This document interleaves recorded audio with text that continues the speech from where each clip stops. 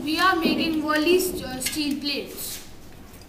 After painting it with the acrylic paints, we will let it dry and then we will scratch it with the compass and make a Worli design.